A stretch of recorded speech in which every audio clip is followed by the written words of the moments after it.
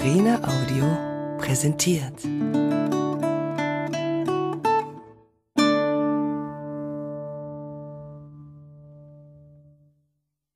Stefanie Taschinski Die kleine Dame auf Salafari Gelesen von Katharina Thalbach Eine Produktion von Arena Audio Ferien, Ferien, nichts zu tun. An jenem warmen Sommertag im Juli hockten zwei Tauben auf der goldenen Brezel des Brezelhauses und ließen sich die Sonne auf die Federn scheinen. Für alle, die sie nicht kannten, sahen sie wie zwei ganz gewöhnliche Stadttauben aus. Die eine hatte braune Federn wie Schokoraspeln und die andere war so weiß wie Mehl. Nein, man sah den beiden wirklich nicht an, dass sie im Hinterhof des Brezelhauses gemeinsam mit der kleinen Dame schon manches Abenteuer erlebt hatten. Und nun hockten die Tauben auf dem Rand der Brezel und beobachteten durch ihre halb geschlossenen runden Taubenaugen den Mann, der den Gehweg fegte. Ein Kronkorken klimperte unter dem Besen, in den Borsten klebte ein altes Kaugummi. Aber mit solchen Kinkerlitzchen hielt Herr Leberwurst sich nicht auf. Der Hausmeister des Brezelhauses fegte zwar links, zwar rechts direkt auf den Bordstein zu. Er wollte seinen Besen gerade tüchtig ausklopfen, da versperrte ihm eine Schnur den Weg. Sie war straff zwischen zwei Stühlen aufgespannt und ein Pappschild hing daran. Bitte frei halten, las Herr Leberwurst. Familie Bär. Leberwurst kratzte sich hinter dem Ohr. Frei halten? Der Hausmeister sah zu dem rechten Stuhl. Er war leer. Er sah zu dem linken. Er war genauso leer. Herr Leberwurst schüttelte den Kopf. Unverantwortlich, knurrte er. Lassen Ihre Stühle hier einfach unbewacht stehen. Das konnte Herr Leberwurst nicht dulden. Schimpfend schlurfte er zu dem rechten Stuhl, streckte den Po so weit nach hinten, dass der Stoff seiner Hose krachte und setzte sich mit einem Ächzer hin. Während Herr Leberwurst vor dem Brezelhaus die Stühle bewachte, läutete in Lillys Klassenzimmer wie jeden Tag um eins die Schulglocke. Aber an diesem Tag war es nicht das gewöhnliche Läuten zum Ende des Schultags, es war auch keine Übung zum Feueralarm, nein. An diesem Tag war es ein ganz besonderes Läuten, das die Mädchen und Jungen der Klasse 3D von ihren Stühlen springen ließ, als hätten sie allesamt Sprungfedern unter den Füßen. Denn mit diesem Läuten begannen die großen Ferien. Gemeinsam mit den anderen lief Lilly aus dem Klassenzimmer mitten in die Ferien hinein. Ferien, Ferien, nichts zu tun, sang sie das Lied weiter, das sie zum Abschluss gesungen hatten. Ferien, um mal auszuruhen. Schon morgen wollte sie mit der kleinen Dame und Chaka, dem tausendjährigen Chamäleon, mit Mama und Papa, mit Karlchen und Jakob auf große Reise gehen. Auf Salafari, wie die kleine Dame sagte. Lilli hielt es vor Aufregung kaum aus und flitzte über den Schulhof. Nur wenige Meter hinter dem Schultor entdeckte sie den himmelblauen Kombi, den Papa für die Ferien geliehen hatte. Oben auf dem Dachgepäckträger waren zwei große und zwei kleine Fahrräder befestigt. Komisch, dachte Lilli noch, als sie die Tür öffnete. Was wollte Papa denn mit den Rädern? Es sind Ferien, begrüßte sie ihn strahlend. Herr Bär drehte sich zu ihr um. Zeit für Abenteuer. Lilly schnallte sich an. Fährst du deshalb unsere Räder spazieren? Herr Bär zwinkerte ihr im Rückspiegel zu. Das ist eine Überraschung, sagte er und fuhr los. Lilly hatte versprochen, sofort nach der Schule in den geheimen Teil des Hinterhofs zu kommen. Sie wollte der kleinen Dame beim Packen für die Salafari helfen. Aber vorher mussten sie Karlchen und Mama einsammeln. Und nun trödelte Papa vor dem Kindergarten herum, als hätten sie alle Zeit der Welt. Lilly wusste echt nicht, was er so lange mit Jakobs Mutter zu besprechen hatte. Es war doch alles geklärt. Jakob, Karlchens allerbester Kindergartenfreund, würde mit ihnen nach Schweden kommen. Seine Oma verlief sich neuerdings in ihrem eigenen Haus, und an manchen Nachmittagen, wenn Jakob sie besuchen kam, wusste sie nicht mehr, dass Jakob ihr Enkelsohn war, es ist ziemlich traurig, wenn einen die eigene Oma nicht mehr erkennt. Und weil Jakobs Eltern nun auf die Oma aufpassen mussten, konnten sie keinen Urlaub machen. Endlich, nach einer gefühlten Ewigkeit, verabschiedete Papa sich und kam mit Karlchen zum Wagen. Karlchen kletterte herein.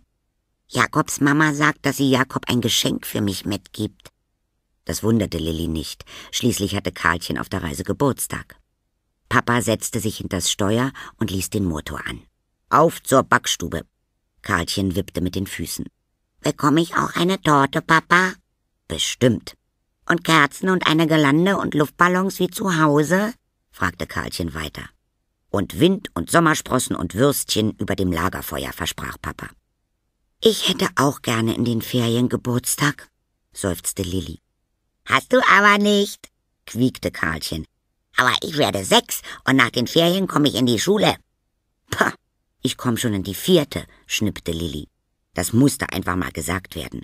Und außerdem weiß ich das, setzte Lilli an und biss sich in letzter Sekunde auf die Zunge. Beinahe hätte sie die feine Überraschung ausgeplaudert, die sie gemeinsam mit der kleinen Dame für Karlchen vorbereitet hatte. Was weißt du? hakte Karlchen nach. Oh, gar nichts. Lilli schüttelte den Kopf. Dabei wurde sie schon ganz kribbelig, wenn sie nur daran dachte, was sie und die kleine Dame sich überlegt hatten. Bitte, bitte, bitte, bitte, bitte, Lilly, sag's doch. Dann bist du auch meine allerliebste Kumpelin. Lilly grinste. Nein. Karlchen beugte sich zu ihrer großen Schwester. Dann kitzle ich dich durch. In diesem Moment hielt Herr Bär vor der Backstube. Wollt ihr im Auto bleiben oder kommt ihr mit? Mit rein, riefen Lilly und Karlchen im Chor. Vielleicht steckte ihnen Frau Schnacksel, Mamas Kollegin, wieder eines dieser köstlichen Erdbeertörtchen zu, oder sie durften die Reste der Schokoknusperecken naschen. Mit einem sehr zufriedenen Blick auf die blitzenden Räder schritt Herr Bär auf die Bäckerei zu. In den vergangenen Wochen hatte er einige Extraschichten eingelegt, um seine Überraschung vorzubereiten. Und nun waren alle Räder fit für die große Schweden-Radtour. Frau Bär ahnte ja nichts von ihrem Glück. Aus der offenen Ladentür wehte ihnen der Duft von Waldmeister und Zitrone entgegen, und im Fenster prunkte die Wolkentorte, die Frau Bär am Vorabend aus 100 Eiweißen und weißer Schokolade zubereitet hatte. Lilli und Karlchen bestaunten die prächtige Torte, da kamen Mama und Frau Schnacksel aus der Backstube.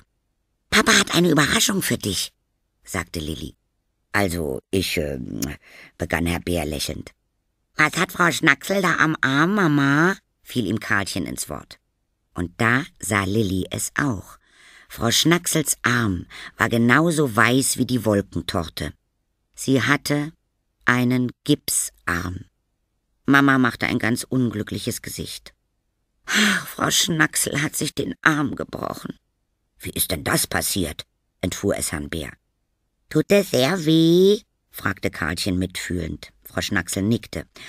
Auf dem Weg zur Backstube bin ich vom Fahrrad gefallen. Sie hob den gebrochenen Arm. Herr Bär wurde ein wenig blass um die Nase. Soll ich dir eine Blume draufmalen? bot Karlchen an. Doch Lilli sah zu ihrer Mutter, die leise murmelnd vor dem Schaufenster auf und ab ging. Mit einer Hand kann sie keinen Zucker wiegen und nein, unmöglich kein Ei aufschlagen, keinen Teig kneten und keine Plätzchen einpacken. Frau Bär blieb stehen und schüttelte den Kopf. Es geht einfach nicht, sagte sie laut. Egal wie ich es drehe und wende, ich kann nicht fahren. Aber Mama, rief Lilli, wir müssen fahren. Die kleine Dame hat alles für unsere Salafari vorbereitet. Mein schöner Geburtstag, fing Karlchen an zu weinen. Mama nahm sie in den Arm. Den können wir auch zu Hause feiern. Ich will aber einen Feriengeburtstag in echt, schniefte Karlchen. Mit Wind und Sonne und Sommersprossen, genau wie Papa es versprochen hat. Herr Bär legte seine Stirn in tiefe Falten. Es wird doch bestimmt eine andere Lösung geben. Ich fürchte, nein, antwortete Mama. Herr Bär warf einen wehmütigen Blick auf die Räder. Unsere schöne Radtour. Nun aber Aufgeschoben ist nicht aufgehoben. Sechs Füße hat die Ameise. Die kleine Dame kniete auf der großen Wiese neben der alten Weide und presste ihr Ohr ganz fest auf die Erde. Sie hatte ihren feinen Tropenhelm abgesetzt und auf die Picknickdecke zu der Teekanne und den Keksen gelegt. Nun hielt sie die Luft an, um auch nicht das allerleiseste Geräusch zu verpassen. Neben ihr strich ein grüner Schwanz durch das Gras. Scht, machte die kleine Dame. Chaka, wie soll ich bei diesem Getöse hören, ob die nächste Ameise barfuß oder in Gummistiefeln kommt? Das Chamäleon der kleinen Dame ließ seine Augen kreisen, dann hielt es den Schwanz still. Die kleine Dame lauschte weiter. Oh, da kam doch. Die kleine Dame konnte die Schritte deutlich hören. Es musste eine sehr stattliche Ameise sein, oder war es womöglich ein Riesenkäfer? Die kleine Dame blinzelte Chaka zu. Da kommt etwas, flüsterte sie. Ein richtiges Prachtexemplar von einem Coleoptera. Das Chamäleon tauchte aus dem hohen Gras auf und blickte sich um. Schnell schrieb seine lange Zunge etwas in die Luft. Wie? wunderte sich die kleine Dame. Kein Coleoptera? Mit seinem Schwanz wies Chaka in Richtung des Zelts, das unter den herabhängenden Zweigen der alten Weide fast ganz verborgen war. In diesem Moment teilte sich der grüne Vorhang. Lilly sah auf den Bildschirm ihrer Kamera. Vor ihr im Gras hockten die kleine Dame in ihrem hellen Safari-Kostüm und Chaka. Klick hatte Lilly ein Bild gemacht und kam auf sie zu. Hier seid ihr. Ich hab euch schon überall im Hof gesucht. Lilly, staunte die kleine Dame. Und ich dachte, du wärest ein Megakoleoptera. Lilly setzte sich zu der kleinen Dame ins Gras. Ein Riesenklopserer? fragte sie und sah sich neugierig um. Kann ich den fotografieren? Hier im Hof des Brezelhauses gibt es wohl keine Megakoleoptera mehr, sagte die kleine Dame mit blitzenden Augen. Aber auf unserer Salafari kannst du bestimmt welche tofografieren. Ja, seit Lilly die kleine Dame kannte, tofografierte sie die wunderbarsten Dinge. Weißt du noch, wie ich dich das erste Mal fotografiert habe und Chaka dich unsichtbar gemacht hat? fragte Lilly. Dabei wollte ich nur ein bisschen chameleonisieren, erinnerte sich die kleine Dame und warf Chaka einen Blick zu. Aber dieses Chamäleon hat eben seinen eigenen Kopf. Chaka klimperte mit seinen runden Augen, als hätte er nicht die leiseste Ahnung, wovon die kleine Dame sprach. Die kleine Dame nahm ihr Notizbuch und den silbernen Bleistift von der Decke. Trotzdem habe ich Lilly zuerst gehört, also einen Punkt für mich. Sie malte einen schönen, runden Punkt in ihr Buch. Lilly sah ihr neugierig über die Schulter. Was ist das für eine Liste? Die kleine Dame hielt ihr das Buch hin. Chaka und ich machen einen Wettbewerb. Wer die meisten Ameisen hört, nun ja, Grashüpfer und Käfer zählen selbstverplemplich auch. Ameisen kann man doch nicht hören, widersprach Lilly. Vielleicht nicht mit untrillierten Ohren, räumte die kleine Dame ein, aber mit ein bisschen Trillierung hörst du schon bald deine erste Ameise. Schließlich hat sie sechs Füße. Mit diesen Worten presste die kleine Dame das eine Ohr wieder fest an den Boden, in das andere steckte sie ihren Zeigefinger. Komm, wir trillieren zusammen. Lilly zupfte einen Grashalm ab und steckte ihn in den Mund. Wahrscheinlich fahren wir gar nicht nach Schweden, Hast du etwas gesagt? fragte die kleine Dame. Wir fahren vielleicht gar nicht nach Schweden, wiederholte Lilly lauter. Die kleine Dame zog sich mit einem Plopp den Finger aus dem Ohr. Ihr geht nicht auf Salafari? Lilly schnitt eine Grimasse. Frau Schnacksel hat sich den Arm gebrochen und jetzt meint Mama, dass wir nicht fahren können. Die kleine Dame stemmte die Hände in die Seiten.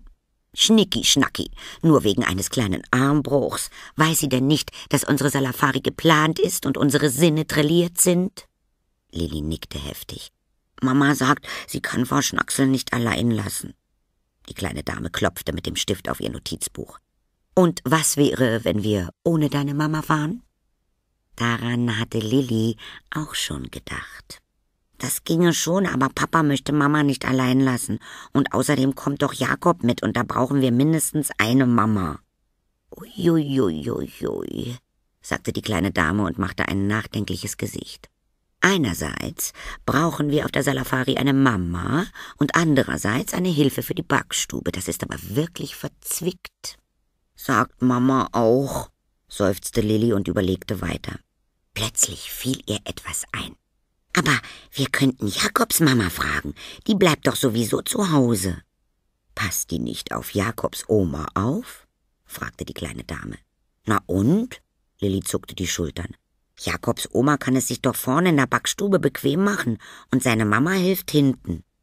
Und was geschieht, wenn die Oma einen kleinen Spaziergang in die Backstube machen möchte und dabei die Butter mit der Seife verwechselt? fragte die kleine Dame. Dann gibt es Seifenplätzchen, grinste Lilli. Aber sie musste zugeben, dass es wohl doch besser war, wenn Jakobs Mama nicht in der Backstube auf die Oma aufpasste. Wir bräuchten jemanden, der Zucker und Salz unterscheiden kann, sagte die kleine Dame. Jemanden, der starke Arme hat, um einen Teig zu rühren, fügte Lilli hinzu. Jemanden, der am Ende des Tages alle Krümel zusammenfegt, sagte die kleine Dame mit blitzenden Augen. Im ganzen Brezelhaus kannte Lilli nur einen Krümelfeger. Du meinst doch nicht die Leberwurst? Natürlich wusste Lilli, dass Herr Leberwurst sich seit der Geschichte mit den Weihnachtsplätzchen verändert hatte und sie würde sein allererstes schiefes Leberwurstlächeln nie vergessen. Aber trotzdem wäre sie im Leben nicht auf die Idee gekommen, ausgerechnet die Leberwurst um Hilfe zu bitten. Die kleine Dame jedoch war fest entschlossen. Nachdem sie die Picknickdecke, die Teekanne und die Kekse gemeinsam aufgeräumt hatten, machten sie sich auf den Weg. Der Hausmeister saß noch immer auf dem Stuhl vor dem Brezelhaus. Die Sonne hatte ihn müde gemacht so war er während seiner Stuhlwache in einen tiefen Schlummer gefallen. Schnurstracks ging die kleine Dame auf den Hausmeister zu. Lilli folgte ihr zögernd. Als sie direkt vor ihm standen, stieß die kleine Dame mit ihrem Schirm einmal auf den Boden. Lilli hörte ein helles Pling und mit einem Mal verstummten alle Geräusche. Das Gurren der Tauben, das Rascheln in den Baumkronen, ja sogar das Knattern der Autos. Die plötzliche Stille weckte Herrn Leberwust auf. Blinzelnd sah er sich um. Die Schnur, grunzte er. Wo ist die Schnur? Wankend kam der Hausmeister auf die Beine und zeigte auf den hellblauen Kombi. Der, der, der muss die Schnur gestohlen haben, empörte er sich. Aber das ist doch Papas Auto, sagte Lilli. Herr Leberwurst kniff die Augen zusammen und musterte sie finster. Ach was, ich dachte, dein Vater fährt Fahrrad. Lilli wich einen Schritt zurück. Den Wagen hat er für unseren Urlaub geliehen, und er wollte den Parkplatz vor dem Brezelhaus freihalten, damit wir morgen leichter packen können. Wollte diese Göre ihn für dumm verkaufen? Herr Leberwurst schnaufte. Papalapap, hier liegt ein Schnurraub vor, am helllichten Tag. Guter Hausmeister, lächelte die kleine Dame.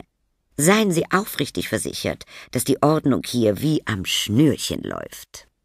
Von wegen, blaffte die Leberwurst. Die kleine Dame blickte ihm fest in die Augen.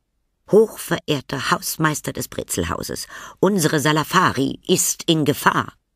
Herr Leberwurst kniff die Augen zusammen. Er hatte nicht die leiseste Ahnung, was eine Salafari war, aber wenn im Brezelhaus etwas in Gefahr war, konnte er als zuständiger Hausmeister nicht untätig bleiben. Welche Gefahr? fragte er näselnd. Die kleine Dame winkte ihn zu sich runter. Unsere Salafari, flüsterte sie ihm ins Ohr. Nur so ein Aus, das große Packen. Lilly legte die Sachen, die sie auf die Reise mitnehmen wollte, auf einen Stapel. Drei T-Shirts, zwei Kapuzenpullover, eine kurze und eine lange Hose, ein Kleid, Unterwäsche, Badesachen und ihre Umhängetasche mit der Kamera. Geschafft, sagte sie und schaute zu Karlchen, die bewegungslos vor ihrer Kommode hockte. Du sollst dir auch Sachen raussuchen. Da angelte sich Karlchen in Zeitlupe ihren Sternchen-Bikini und die Badelatschen aus der Kommode und schob die Schublade wieder zu. Er passt nicht in den Koffer. Wie? flaumte Lilli sie an. Wir sollen richtig packen. Und wo packe ich dann meine Geschenke rein? fragte Karlchen wieder borstig. Lilli nahm ihre Umhängetasche und stand auf. Das besprichst du besser mit Mama, sagte sie und ging hinaus. Im Flur zwischen dem Gepäck standen Mama und Papa. Das ist wirklich ein Wunder, lächelte Frau Bär. Dass ausgerechnet Herr Leberwurst einmal in der Backstube aushelfen würde, hätte ich mir wirklich nicht träumen lassen. Herr Bär schüttelte den Kopf. Aber was er von seiner Hausmeisterehre gefaselt hat, habe ich nicht verstanden. Lilli kam in den Flur. Mama, wo sollen wir unsere Sachen einpacken? In den Koffer, sagte Mama und schob ihr den Koffer zu. In die Radtasche, sagte Papa und stellte seine Radtasche darauf. Lilly sah von einem zum anderen. Koffer oder Tasche? Natürlich Koffer, da passt viel mehr rein, antwortete Mama. Und wie willst du den Koffer auf dem Fahrrad befestigen? fragte Papa. Das funktioniert nicht. Da ich nicht vorhabe, in diesem Urlaub Rad zu fahren, kann ich wohl getrost den Koffer nehmen, entgegnete Mama. Papa zog die Schwedenkarte hervor. Die Etappen sind wirklich nicht schwer, schon wegen der Mädchen nicht. Mama nickte geduldig und trug den Koffer ins Kinderzimmer. Du kannst mit den Mädchen gern radeln. Ich lege mich in den Liegestuhl vor unser Ferienhaus und lasse die Seele baumeln. Ähm, welches Ferienhaus? Herr Bär räusperte sich. Wir haben kein Haus. Mama ließ den Koffer sinken. Kein Haus? Ihre Stimme schwankte. Du, du hast kein Ferienhaus gebucht? Papa friemelte an der Kartenhülle. Wozu? Wir machen eine große Radtour mit Zelt und kleiner Dame. Das wird bestimmt total super, sprang Lilly ihrem Vater bei. Doch davon schien Mama keineswegs überzeugt zu sein. Sie fasste nach dem Koffer. Ich helfe Katjen jetzt beim Packen. Und du kümmerst dich um das hübsche rote Ferienhaus, so wie wir es besprochen haben. Papa fuhr sich durchs Haar. Aber wir wollten doch eine Abenteuerreise machen. Mama verschwand im Kinderzimmer. Ich will ein Haus, hörte Lilly noch, bevor sie aus der Wohnung schlich. Mama und Papa hatten vielleicht Probleme. Nun hatten sie eine Hilfe für Frau Schnacksel gefunden, und statt sich zu freuen, stritten sie, ob sie mit Zelt oder Haus verreisen wollten. Lilly hatte gar nicht gewusst, dass Urlaub für Erwachsene eine so komplizierte Sache war. Da lief sie lieber in den Hof zur kleinen Dame. Die wusste bestimmt, was sie für die Salafari packen musste. Und so war es auch. Als Lilly das Zelt der kleinen Dame erreichte, verstaute diese gerade ihre silberne Laterne in der Reisekiste. Lilly kannte diese Laterne. Wer sich in ihren Lichtschein setzte, konnte die Sprache der Tiere verstehen und sprechen. Klar, dass sie diese Laterne mit auf Salafari nehmen mussten. Lil Nesli, rief die kleine Dame. Setten es hier finnes Fährte nestig? Lilly krauste die Stirn. Was war das wieder für eine Sprache? Durch die kleine Dame hatte Lilly schon einige neue Sprachen kennengelernt.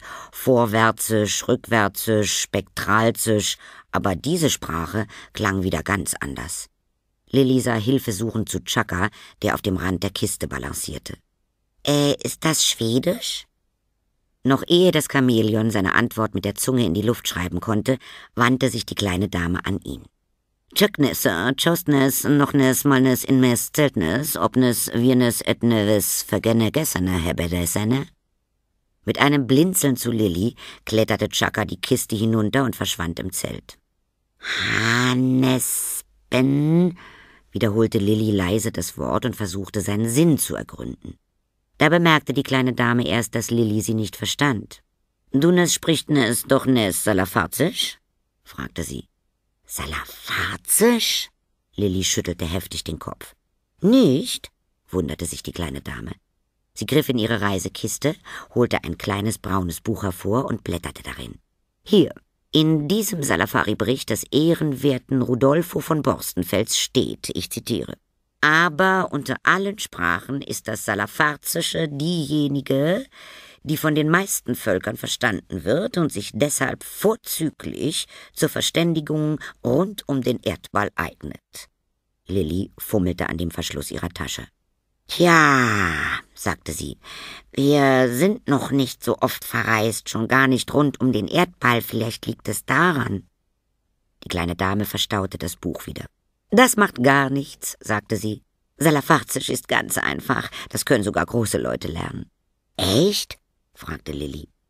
Die kleine Dame klappte den Deckel ihrer Reisekiste zu und setzte sich darauf. Ich zeig's dir, sagte sie fröhlich und klopfte neben sich auf die Kiste. Salafarzisch ist eine Sprache, die sich selbst übersetzt, erklärte die kleine Dame. Damit das funkiert, brauchst du nur die Übersetzungssilbe Ness an dein Wort anzuhängen und schon kann dich jeder verstehen. Du meinst zum Beispiel du Ness? versuchte es Lilly. Die kleine Dame nickte begeistert. Janes! Ich nes, sie nes, wir nes, übte Lilly gleich weiter. Ich nes, sprech nes, salafazisch. Die kleine Dame hob die Hand. Achtung, bei mehrsilbigen Worten kommt das Nes immer hinter die erste Silbe. Lilly überlegte kurz. Ich nes, sprech Nese salafazisch? Bran es wo? klatschte die kleine Dame. Lilly lachte. Ich glaub, ich muss noch übnäsen. In diesem Moment kam ein seltsames weißes Knäuel aus dem Zelt. Lilly fand, dass es aussah wie ein kleines Gespenst. Die kleine Dame hüpfte von der Kiste. Oh nein, das hätte ich bei Ferne vergessen, rief sie erschrocken und hob das weiße Tuch hoch. Darunter kam Chaka zum Vorschein. Gut, dass du daran gedacht hast, lobte die kleine Dame ihr Chamäleon. Lilly half ihr, den Stoff zusammenzulegen. Ist das ein Sonnensegel? Fragte sie verwundert. Denn soweit Lilly wusste, gehörte Schweden nicht zu den Ländern, in denen man ein Sonnensegel brauchte. Keines Pfads, keines Pfads. Die kleine Dame öffnete ihre Reisekiste noch einmal und legte das weiße Tuch hinein. Das ist ein Schutz gegen die gefährlichsten und wildesten Tiere Skandinaviens. Lilly befühlte den Stoff. Ist es ein Umhang zum Unsichtbarmachen? Wozu soll ich mich bitte unsichtbar machen? Fragte die kleine Dame erstaunt. Chameleonisieren ist doch viel eleganter. Die kleine Dame sah Lilly prüfend an.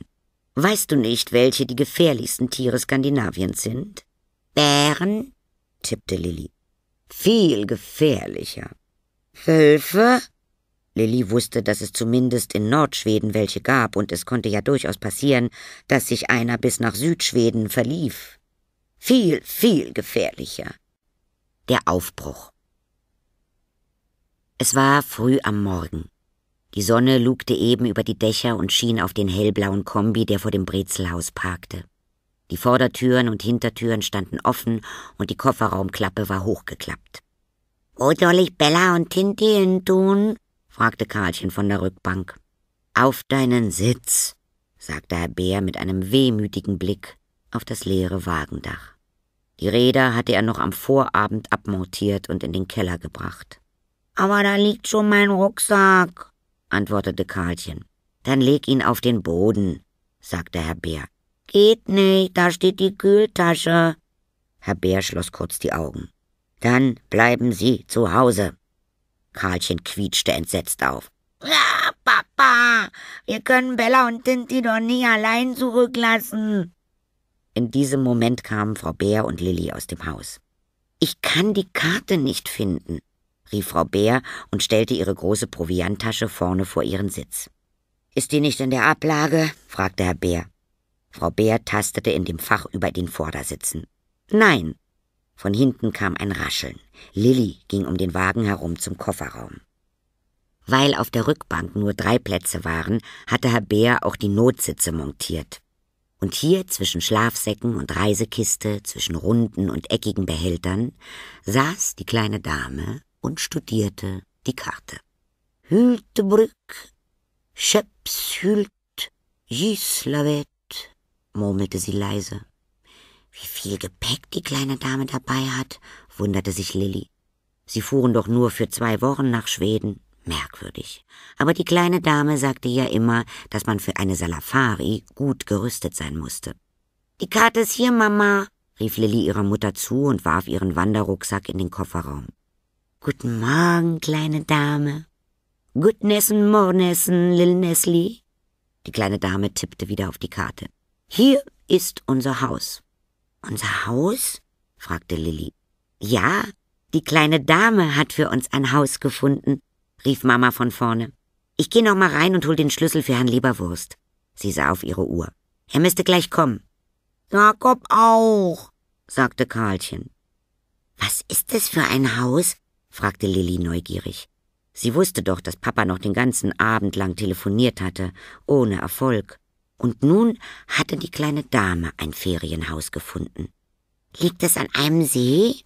Es kann an einem See liegen, nickte die kleine Dame. Oh, supi, dann können wir ja heute noch baden gehen, jubelte Lilli. Es kann auch an einem Feld liegen, fuhr die kleine Dame fort und faltete die Karte zusammen.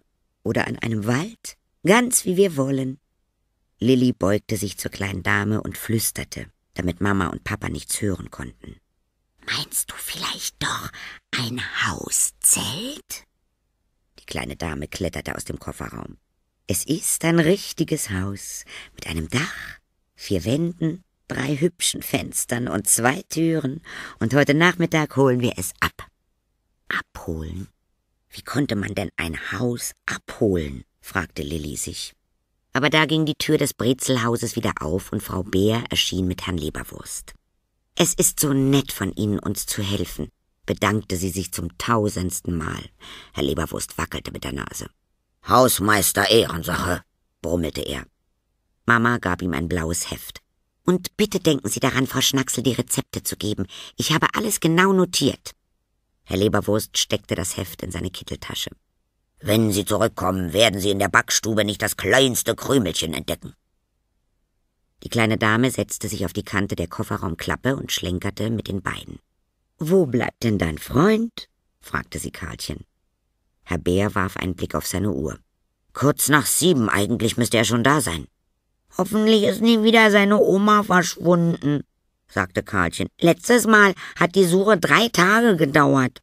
So lange warten wir aber nicht, sagte Lilli bestimmt. Die kleine Dame ließ Chaka in das Oberteil ihres Schirms klettern. Nicht, dass unser Haus am Ende ohne uns losfährt. Wieder fragte Lilli sich, was das wohl für ein Haus sein konnte. Da bog ein silbernes Auto in die Straße und hielt direkt hinter dem himmelblauen Kombi. Jakob! rief Karlchen und hopste aus dem Auto. Vorne stieg Jakobs Vater aus. Herr und Frau Beer begrüßten ihn. Karlchen, Lilli und die kleine Dame umringten Jakob, der ein glänzendes Fernglas vor der Brust trug. Habe ich für die Reise bekommen, sagte er. Damit sehe ich jeden Elch. Denn Jakob wusste, dass es in Schweden an jeder Ecke Elche gab. Karlchen zog ihre Trillerpfeife aus der Hosentasche. Eine Notpfeife, falls wir uns verirren. Lilli holte ihre Kamera aus der Umhängetasche. Ich mach die Bilder. Kleine Dame spannte ihren Schirm auf und chameleonisierte vom Fleck weg so himmelblau wie der alte Kombi. Und falls wir uns auf der Salafari manchmal tarnen müssen, kommt ihr alle unter meinen Schirm. Lilli, Karlchen und Jakob probierten es sofort aus. Wenn sie sich ganz dicht zusammenstellten, passten sie zu viert gerade darunter. Wo sind denn die Kinder? fragte Herr Bär und sah sich suchend um. Die sind bestimmt noch mal zur Toilette gegangen, vermutete Frau Bär. Aber Herr Leberwurst schüttelte den Kopf. An mir ist keiner vorbeigelaufen. Eins, zwei, drei, zählte die kleine Dame, und mit einem ausgelassenen Buh sprangen die Kinder unter dem Schirm hervor. Wo, wo, wo kommt ihr denn her? staunte Jakobs Vater. Er konnte schließlich nicht wissen, dass die kleine Gestalt, die gerade sorgfältig ihren Schirm zusammenklappte, die beste Chamäleoniseurin der Welt war. Oh, wir haben uns nur ein bisschen versteckt, rief Lilli ihm zu. Alles einsteigen, sagte